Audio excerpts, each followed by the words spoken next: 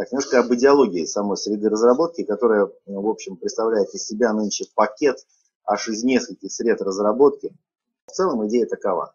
Вы разрабатываете в, одно, в одном приложении, вы разрабатываете стратегию управления, это всевозможная логика, это написано на языках э, и стандартам MAC 6131, то есть там поддерживаются языки ST, FBD, SFC и э.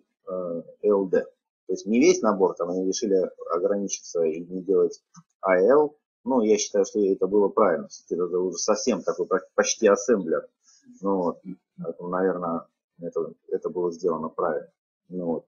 Значит, соответственно, вы разрабатываете стратегию в отрыве и от железа, которое будет использоваться, и от вообще поиска интерфейса, вообще от всего. Просто разрабатывать абстрактную стратегию управления, а, чем бы это ни было, и она живет просто этот код, как именно вот стратегия управления. А в другой, а, в другой среде разработки, там вот пакет состоит из четырех программ, вот это, это, делается в C-дизайне, в C-strategy. А в C-маске вы разрабатываете только пользовательский интерфейс. Тоже э, точно так же в отрыве от железа. То есть просто абстрактный пользовательский интерфейс. А, Дальше. Вот в C-дизайне это среда, в которой вот как раз впервые происходит привязка уже к железу. Э, здесь вы создаете конфигурации под конкретное железо. То есть вы, там объединяются э, C-Strategy и C-масковые файлы и привязываются к железу. Вы там выбираете, допустим, будет C-Pico или C-Pico Mini. Создаете конфигурацию хоть для одного, хоть для другого, или хоть для обоих, там можно создать много конфигураций. Дальше вы выбираете типа размер контроллера, например, CPK там small, medium, large. Да. И вот э, на основании этого выбора вы уже создаете конфигурацию, в которой вы э, привязываете переменные, которые, которые до сих пор были просто переменные, данные, которые были просто переменными конкретным физическим входом, выходом и так далее. Другие переменные вы привязываете э, каким-то протоколом, мастерам, слейвам и так далее. Здесь вот, короче, мы привязываем входом-выходом, протоколом, настраиваем какие-то внутренние конфигурации там, и защиты нашего контроллера, настраиваем сетевые э, порты там, и так далее. Все это происходит в C-дизайне. А, C-Factory это такой особнячком стоящий э, продукт, а, потому что это, в принципе, он рассчитан на серийных производителей. По большому счету, часть C-Factory, точнее, э, обращение к C-Factory есть из C-дизайна. То есть это загрузчик в контроллер готовых уже конфигураций.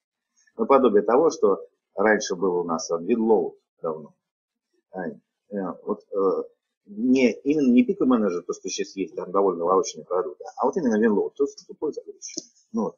Просто C-Factory поддерживает работу с командой строки, и это довольно легко, там через какие-то файлы там, интегрируются в какие-то продукт лайны в общем, в, кон, в конвейер вот, считывание, например, штрих-кодов и сразу автоматическое применение каких-то выборов конфигураций. Ну, для людей, которые, ну там, можно посадить человеку очень низкая верификация, в которой умеет пользоваться считывателем штрих-кода. Да? и выбралась нужная конфигурация. Все.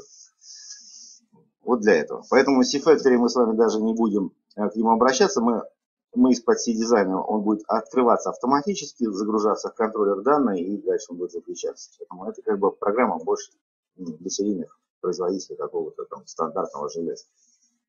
Ну, а, общаются между собой все эти программы через репозиторий.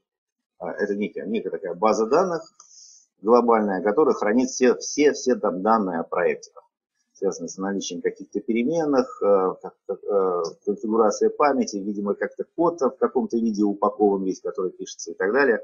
Я не вникал, что там этого репозитория. Я знаю, что есть файлы с разрешением OTR, он лежит вот там, и это репозиторий. Все. Вот это я знаю. В принципе, честно говоря, как э, человека, как пользователя среды. Вот. Меня больше и не интересует, что там внутри репозитория, как там внутри нем организовано. Моя задача правильно на него сослаться в нужных местах. Ну, вот. Репозиторий появляется, когда вы создаете проект. А проект создается всегда в C-стратегии. То есть, это, э, чтобы начать работу, надо э, начать ее с C-стратегии.